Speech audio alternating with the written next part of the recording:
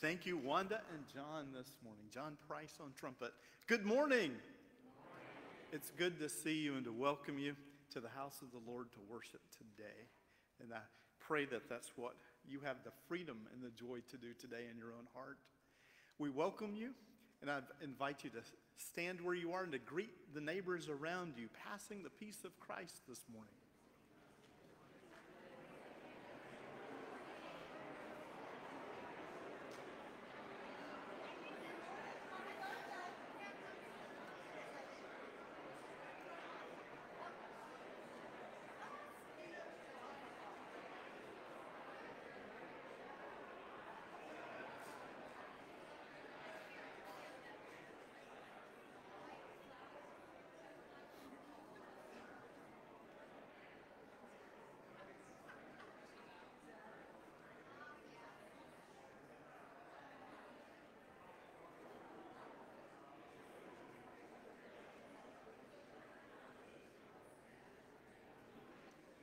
Our music today reflects our joy in the Lord for the freedoms that He gives us as we celebrate the 4th of July this week. The choir is going to lead us in our opening hymn this morning and uh, invite you to join us. And God bless America.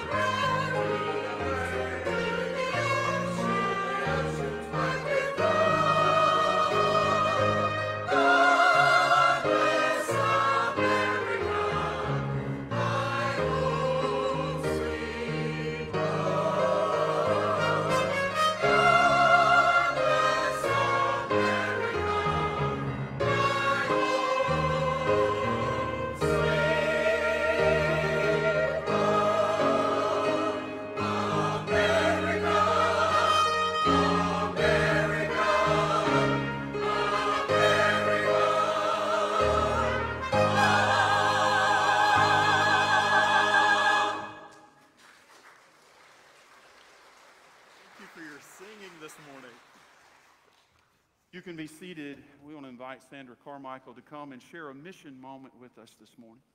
Thank you, Sandra. Good morning, church family. My name is Sandra Carmichael, and I'm on our missions committee here at Spanish Fort United Methodist Church and would like to share with you some information about Family Promise. Family Promise of Baldwin County is a shelter for families in transition providing them with various assistance with the ultimate goal of finding permanent and affordable housing. It's the only shelter in Baldwin County that accepts the entire family, mother, father, and children.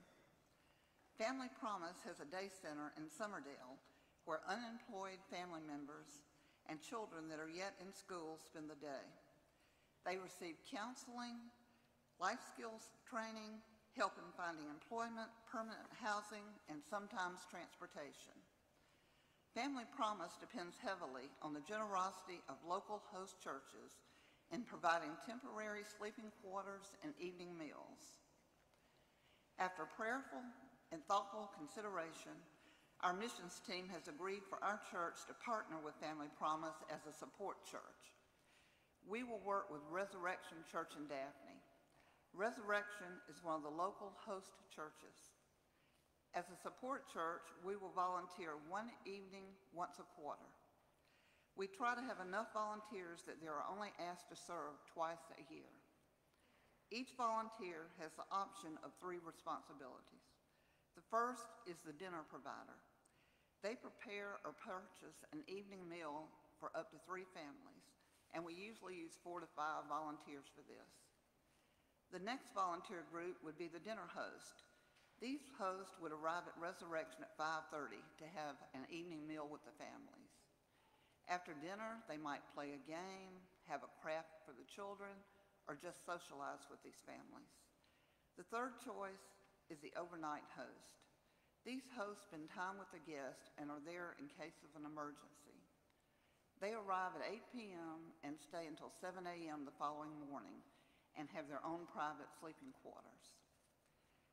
I would like to tell you about a personal experience I've had with Family Promise. In, not, in 2020, I was made aware of a young lady who came to town with three children.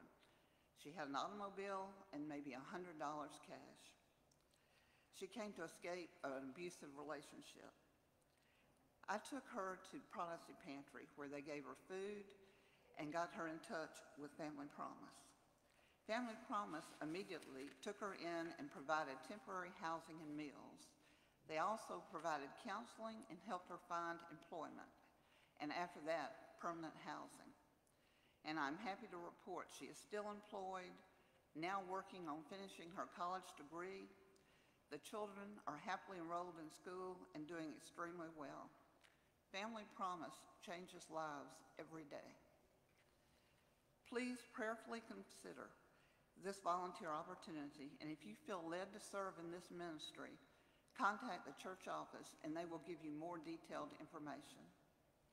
And in closing, I would like to thank our volunteers for committing your gifts and service so that Spanish Fort United Methodist Church can continue to help ease the burden of homelessness in our Baldwin County communities. Thank you.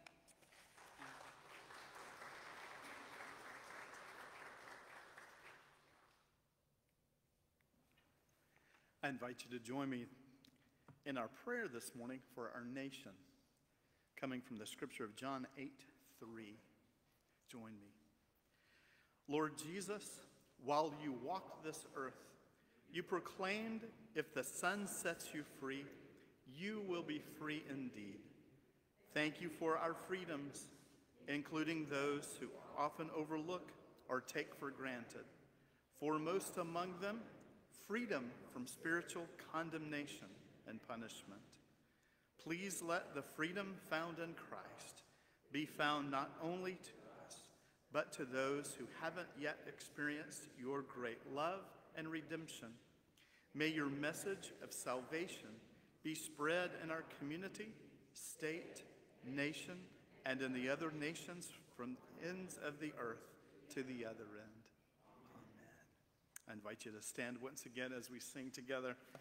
America, my country, tis of thee. Stanzas, just one, three, and four.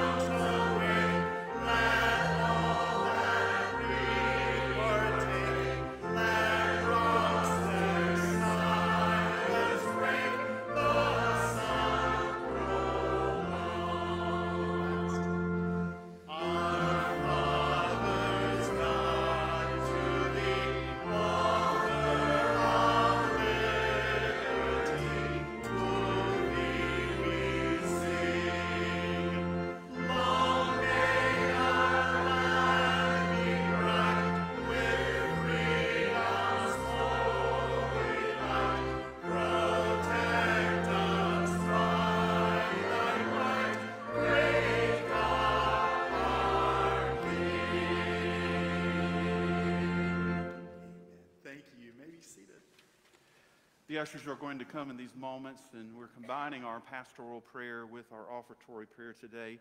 And as they come, I just want to remind you of a couple of concerns. I know we all have needs here today, extended family as well. At Thomas Hospital, as Walter Fulton is there, and also at USA Med Center, Sam Campbell continues there. To remind you as well as the service for Mary Locke will be uh, next Sunday at 2 p.m. here in our sanctuary. Let us go to God in prayer in these moments and for the blessing of the offering as well. Good and gracious God, thank you that we have the freedom to come and to worship. Thank you, Lord, for all who have made the choice today, the free choice to come and to worship. We pray, Lord, that you would bless us in this time Lord, that you would encourage our hearts, that you would inspire our faith, that you would increase our love. God, that you would move in our midst and help us to truly worship you today. Not only, God, with the songs and prayers and the proclaiming of the word, but also through the offerings and tithes and gifts that we bring. May you, Lord, truly bless those and even multiply them so that we can be your hands and feet as you've called us here through the church in our community, indeed in our world. We thank you and praise you in the name of the Lord Jesus Christ, the one who's taught us all to pray. Our Father, who art in heaven, hallowed be thy name. Thy kingdom come, thy will be done on earth as it is in heaven. Give us this day our daily bread and forgive us our trespasses as we forgive those who trespass against us. And lead us not into temptation, but deliver us from evil. For thine is the kingdom, and the power, and the glory forever. Amen.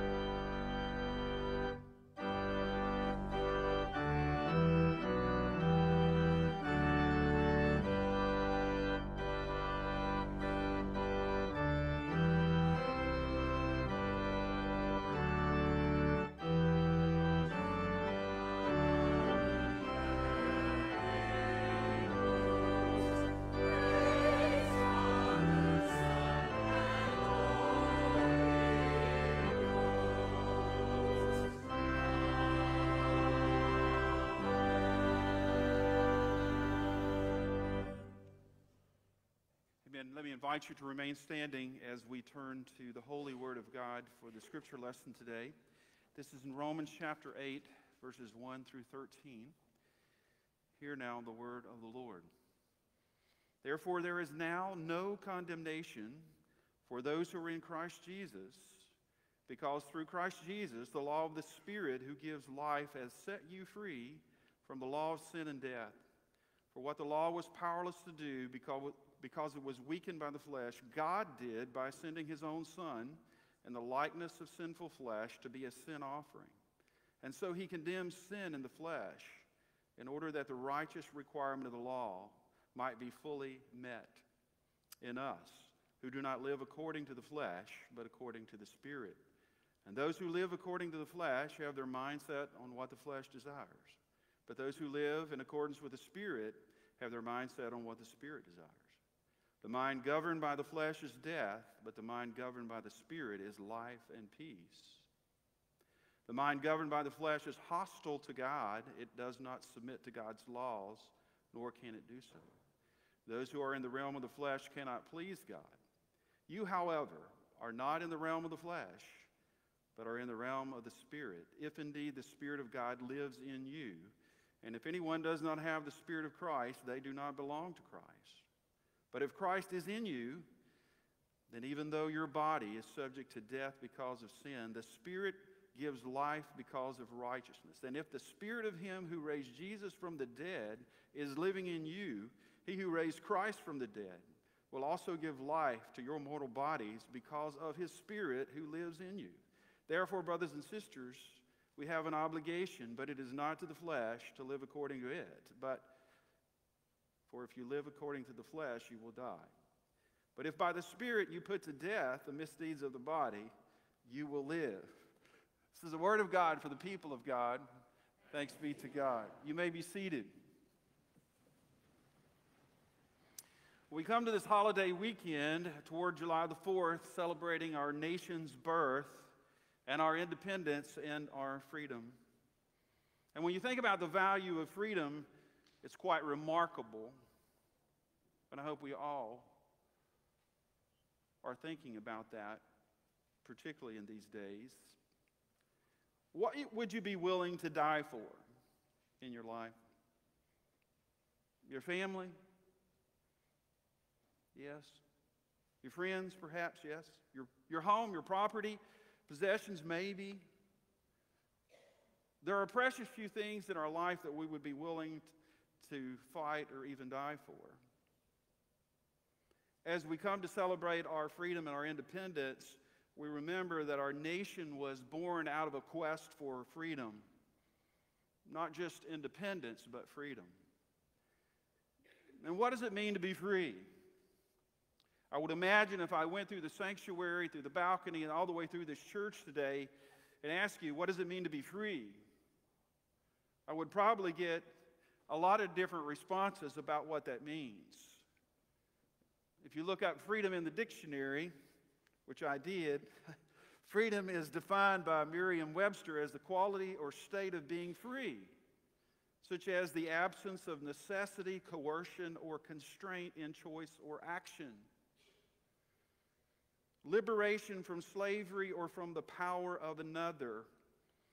And that definition is multifaceted, but it corresponds to this holiday and also our nation's independence, particularly from England in its birth. But we recognize, even in that definition, there's a lot of different aspects of freedom.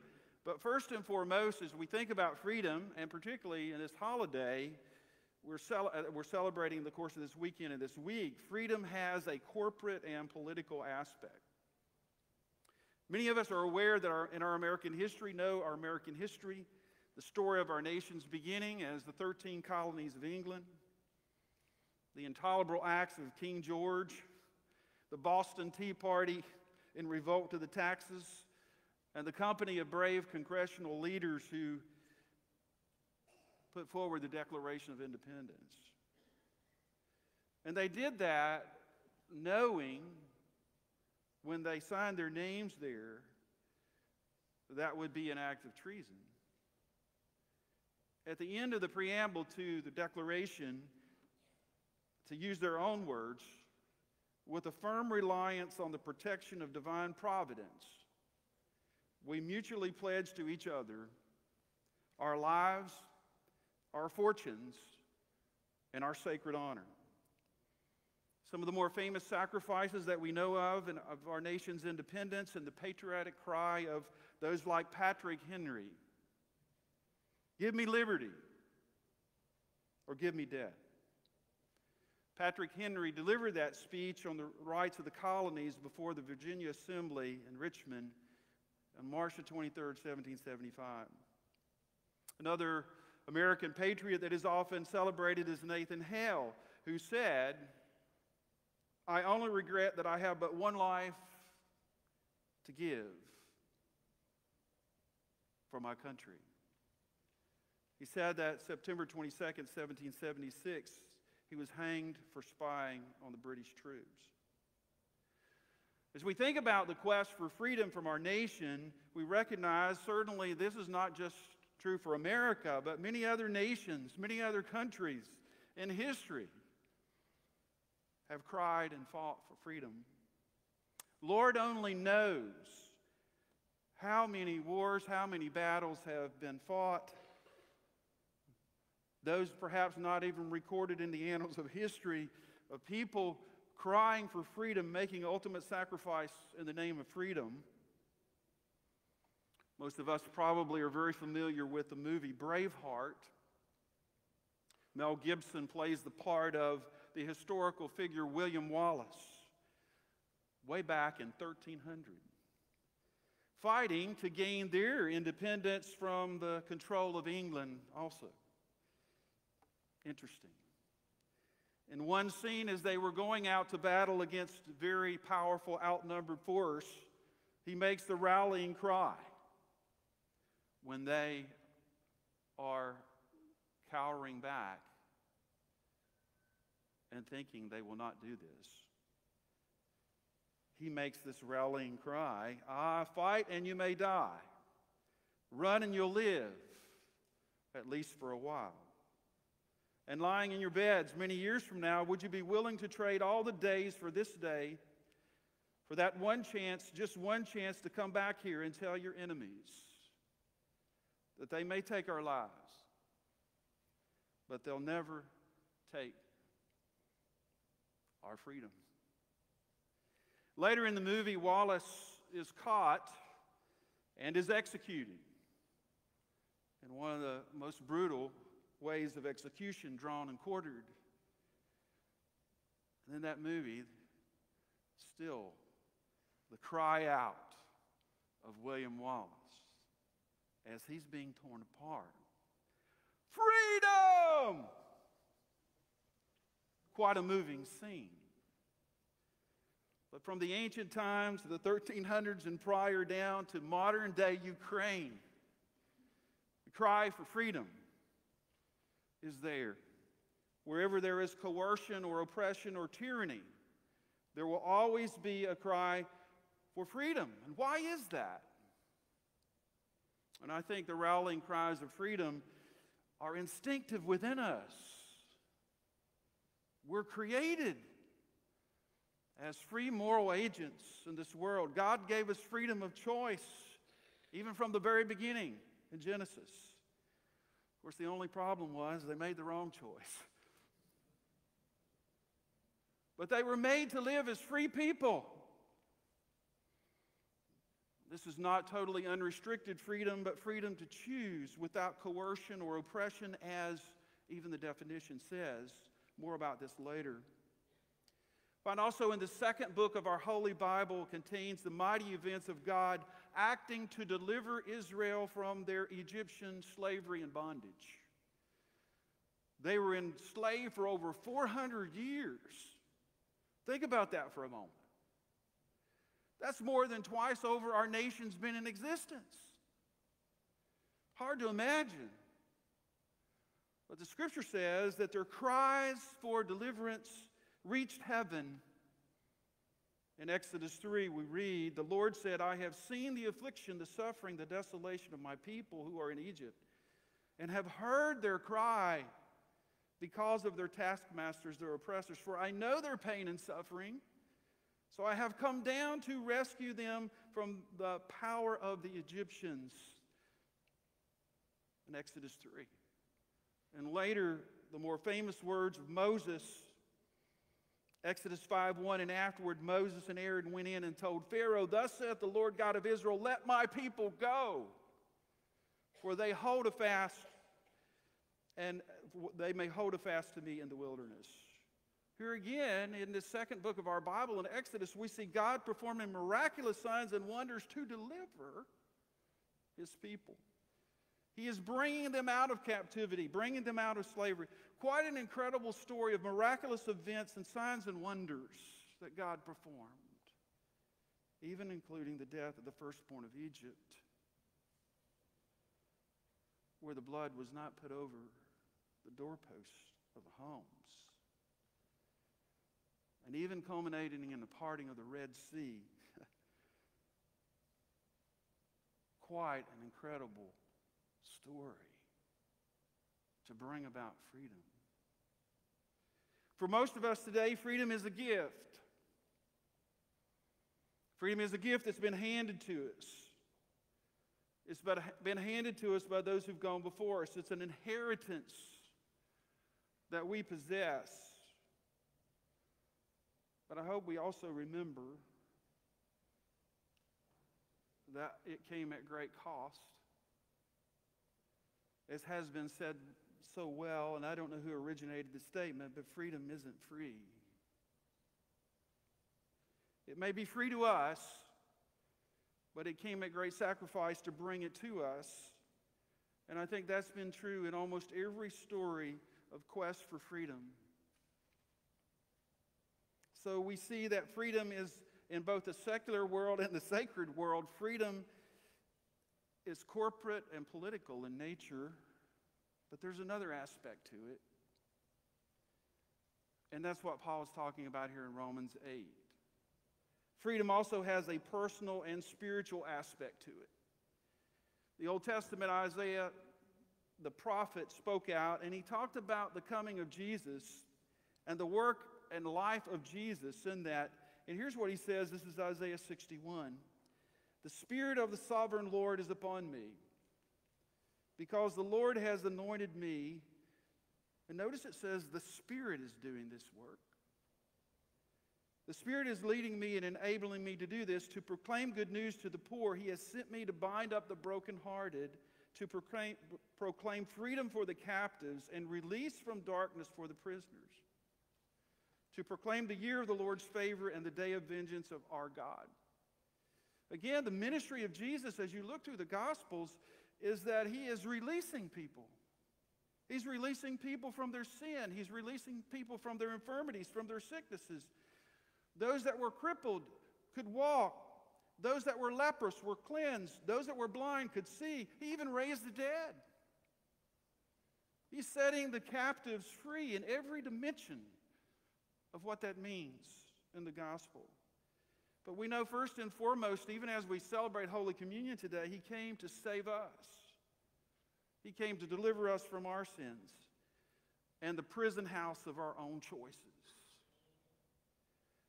I will never forget the words of Nicky Gumbel, who established the Alpha series and also has prison ministry. And he stated an incredible word when he said, There are many in prisons who live more freely than those outside. What, he, what did he mean by that? And I think what he meant by that is that we are a prisoner to who or what we serve. And it raises the question of who are we serving? Bob Dylan sang a few years ago, you got to serve somebody. It might be the devil, or it might be the Lord, but you got to serve somebody. How true that is. Paul is giving some important instructions here on how we can be set free. Live in the Spirit. What we've been talking about this whole summer live in the Spirit to overcome the downward and deadly desires of our flesh and our fallen nature. Notice what he says here in verse 4 is those who live according to the flesh have their mind set on what the flesh desires. But those who live in accordance with the Spirit have their mind set on what the Spirit desires. As we talked about earlier, all the way back to creation, Adam and Eve actually forfeited their freedom. We talked a lot in this series about the prodigal son. He had a false understanding of freedom, he wasted it because he was trying to live without any limits. It was freedom, as one group put a few years ago, that they are free to be as nasty as they want to be. Unrestrained freedom, we see a lot in our world. But that is using freedom for maliciousness. It poses a beautiful and pleasant experience, but it brings about death. It's like drinking sweet tasting poison as one author put it. It echoes the lines of Satan in the classic book by John Milton, Paradise Lost, where Satan says, I would rather rule in hell than serve in heaven. That is the essence of our fallenness. Many have mistaken freedom for rebellion, and that creates the worst prison house imaginable. William Booth founder of the Salvation Army, he said, What the law tried to do by restraining power from without, the gospel by an inspiring power within. It is the Spirit that sets us free. In the last days of the Civil War, the Confederate capital of Richmond was overtaken by the Union Army. Abraham Lincoln insisted upon visiting Richmond in a very tumultuous, still tumultuous time when the city was very volatile. He wanted to go to the city. And no one knew he was coming, but everyone recognized him as he went riding into the city. And all of the slaves recognized him and thronged around him. He had liberated them.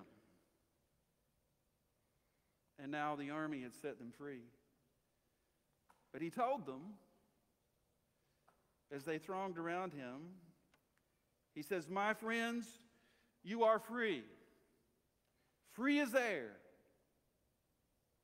You can cast off the name of slave and trample upon it. Liberty is yours. But Lincoln also warned them not to abuse their freedom. He said, Let the world see that you merit your freedom. Do not let your joy carry you into excesses. Learn the laws and obey them. It's very much like this passage. Jesus gives us freedom. He has, liber- he has liberated us by his death. But that is only so that we can follow him and trust and obedience. Jesus was sacrificed to set us captives free. We celebrate that today and we're reminded of his sacrifice that brought about our freedom. He freed us, as we will say in our ritual today, he freed us from captivity to sin and death. And he freed us for joyful obedience. We say those words and we'll draw attention to them in the ritual today. So we are no longer to live to ourselves. And that is the worst prison. We are no longer to live to ourselves, but to live for Him who died to set us free.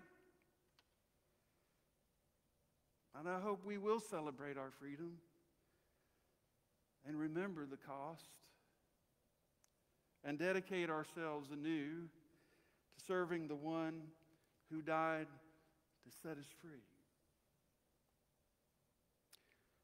He set me free. He set me free.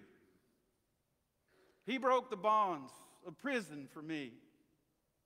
I'm glory bound, my Jesus to see. For glory to God, He set me free. Are you free? Whom the Son sets free is free indeed. Hallelujah. Hallelujah. Amen.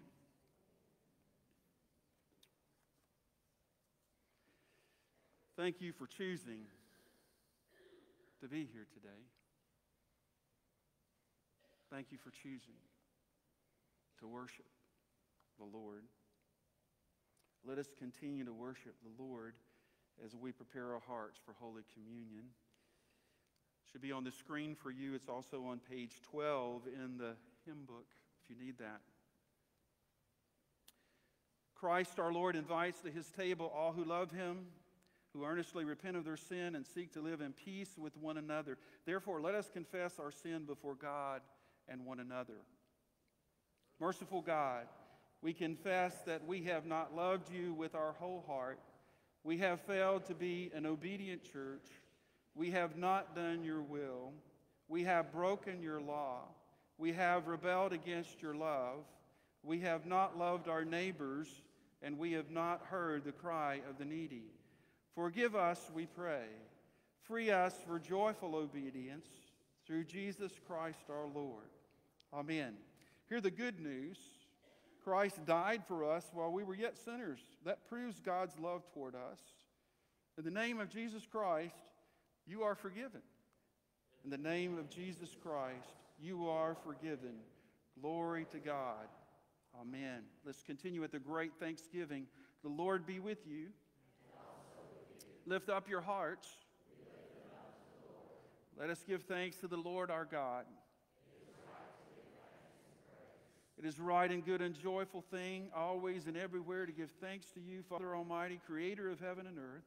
So, with your people on earth and all the company of heaven, we praise your name and join their unending hymn. Holy, holy, holy Lord, God of power and might, heaven and earth are full of your glory. Hosanna in the highest. Blessed is he who comes in the name of the Lord. Hosanna in the highest. Holy are you, and blessed is your Son, Jesus Christ. By the baptism of his suffering, death, and resurrection, you gave birth to your church. Hear what it says delivered us from slavery to sin and death, and made with us a new covenant by water and the Spirit. On the night in which he gave himself up for us, he took bread, gave thanks to you, broke the bread, gave it to his disciples, and said, Take, eat, this is my body which is given for you. Do this in remembrance of me. When the supper was over, he took the cup, gave thanks to you, gave it to his disciples, and said, Drink from this, all of you. This is my blood of the new covenant poured out for you and for many for the forgiveness of sins. Do this as often as you drink it in remembrance of me. And so, in remembrance of these, your mighty acts in Jesus Christ, we offer ourselves in praise and thanksgiving as a holy and living sacrifice in union with Christ's offering for us as we proclaim the mystery of faith. Christ has died, Christ is risen, Christ will come again. Pour out your Holy Spirit Pour out your Holy Spirit. Pour out your Holy Spirit. Pour out your Holy Spirit. Pour out your Holy Spirit. Pour out your Holy Spirit.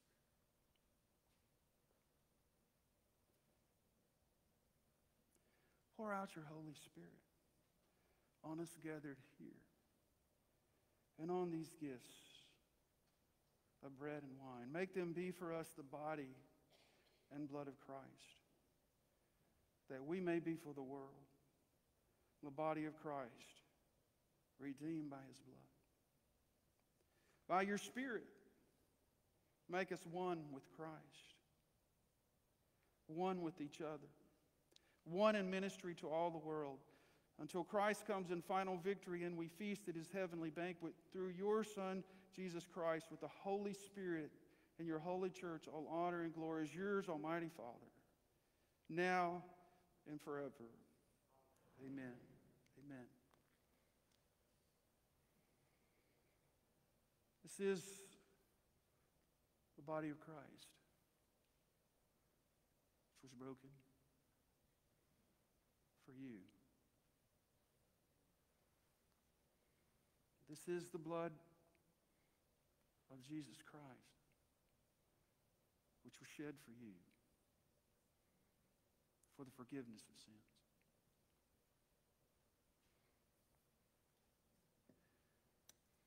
I want to invite those who are going to assist with communion today to come in these moments.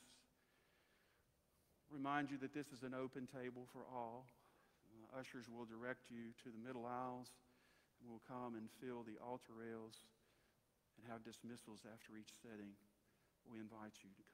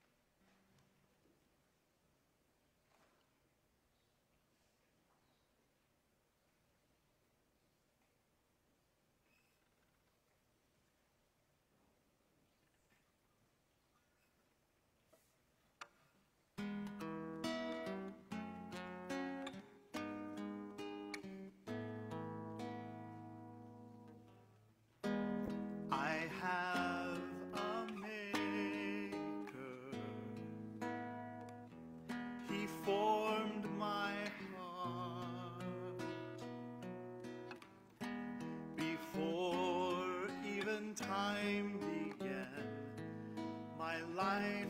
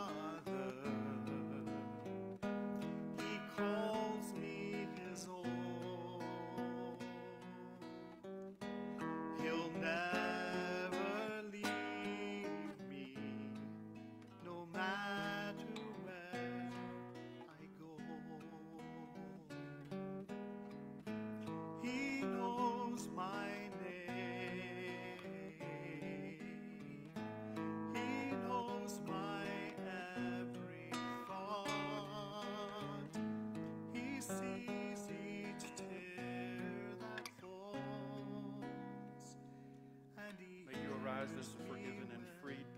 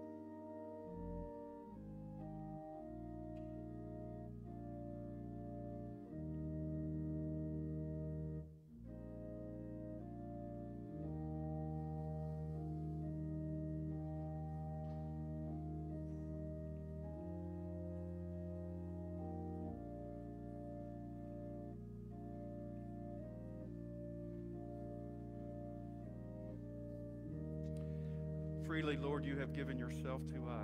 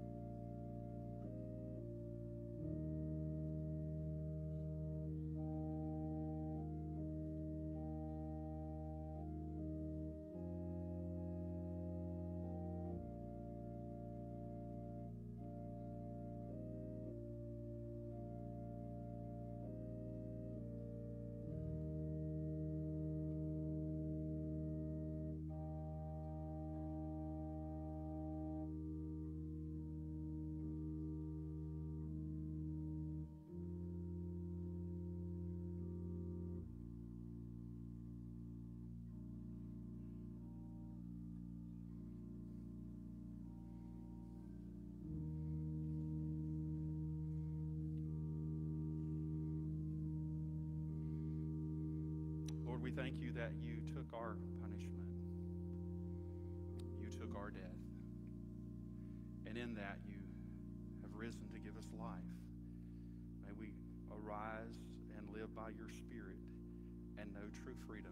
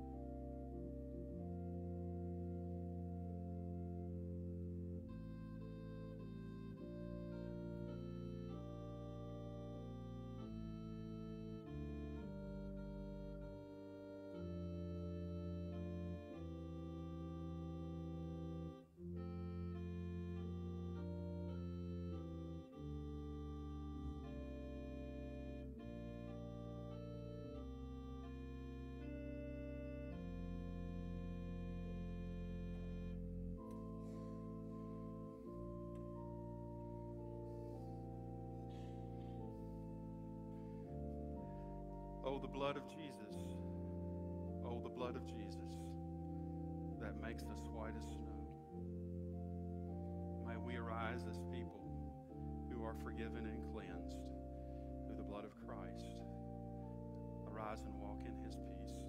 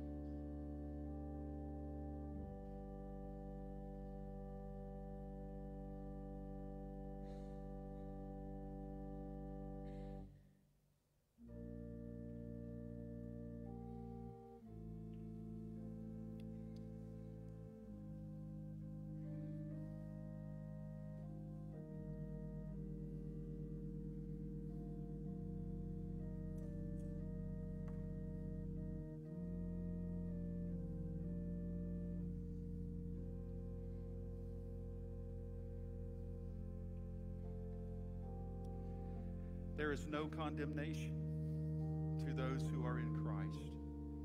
Lord, may we truly know and feel your forgiveness, your acquittal, your cleansing, and arise as people who are free from guilt and condemnation through Christ.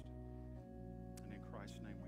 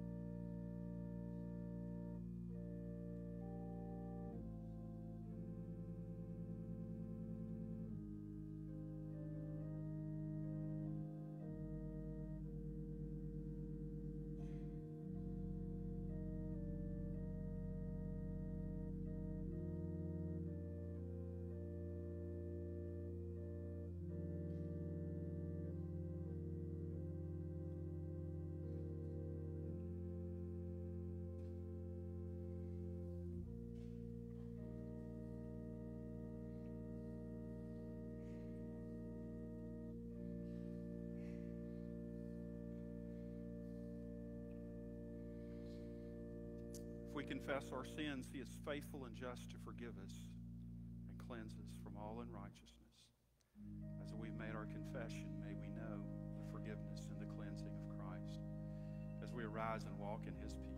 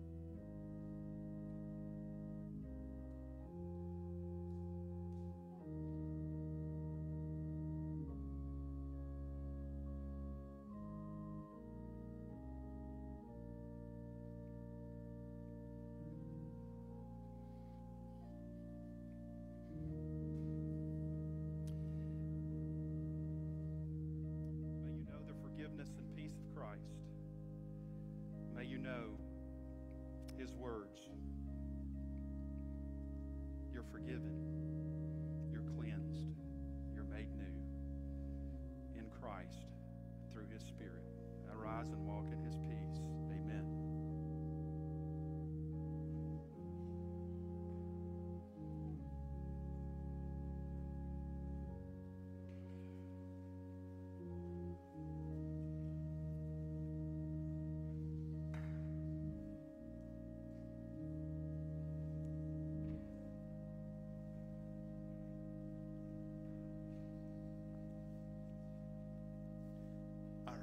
Response this morning is found at number 696 in your pew hymnal there, America the Beautiful. Will you stand with me as we sing?